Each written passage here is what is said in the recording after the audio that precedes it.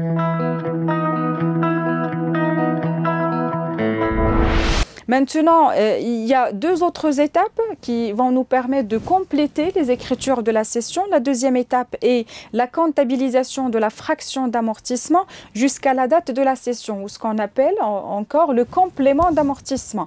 C'est-à-dire depuis le début de l'année et jusqu'à la date de session, l'entreprise, bien sûr, a utilisé le bien, donc il y a eu consommation, il y a eu usure du bien en question. Et dans ce cas-là, bien sûr, il faut tenir compte de l'amortissement du début d'exercice jusqu'à la date de session, c'est ce qu'on appelle le complément d'amortissement. Alors, euh, dans ce cas-là, bien sûr, on va le comptabiliser de la même manière comme n'importe quelle dotation d'amortissement. Dotation d'amortissement pour l'immobilisation en question. Et la contrepartie, c'est la classe 2, amortissement de l'immobilisation. Et puis, la troisième étape qui va nous permettre de tenir compte de la sortie de l'immobilisation. Maintenant, on a cédé notre immobilisation, on a touché le produit de cession. Il n'y a aucune raison pour garder l'immobilisation dans le bilan de l'entreprise. Et dans ce cas-là, l'entreprise doit se départir d'accord, de l'immobilisation, mais il faut respecter un protocole lié à, l'écriture de la cession. Donc, qu'est-ce qu'on va faire? Nous allons prendre la classe 2, amortissement de l'immobilisation.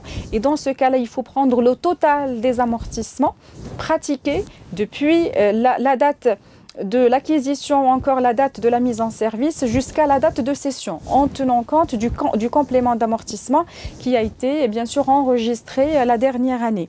Et puis, on va ajouter euh, une écriture euh, ou bien un compte qui appartient à la classe 6, la valeur nette d'amortissement de l'immobilisation cédée. La valeur nette de l'amortissement, c'est la valeur d'origine moins le total des amortissements.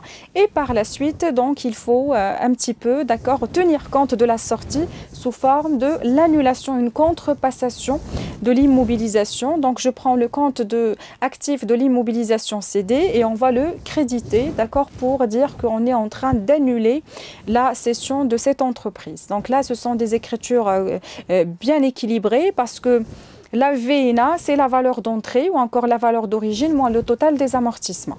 Donc voilà l'écriture comptable qui va nous permettre de tenir compte de la cession des immobilisations.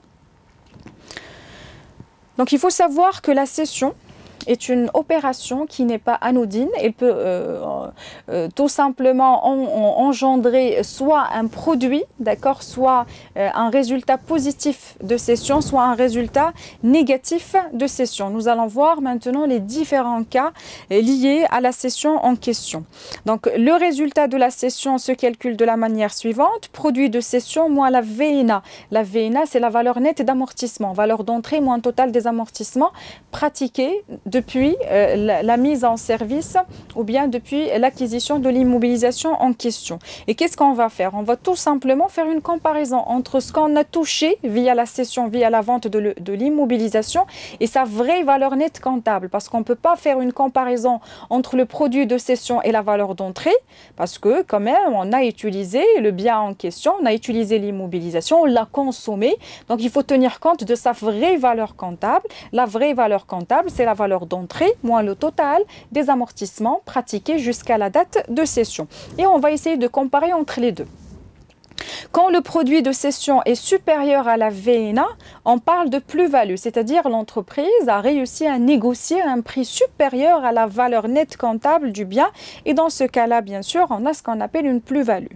Maintenant, quand le produit de cession est inférieur à la valeur nette comptable de l'immobilisation cédée, on parle de moins-value. D'accord?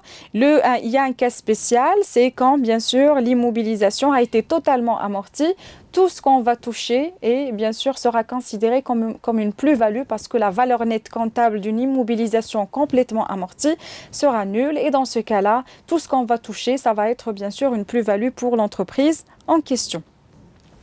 Alors pour bien ancrer euh, les écritures de la session des immobilisations, je vous propose de passer à l'application 5.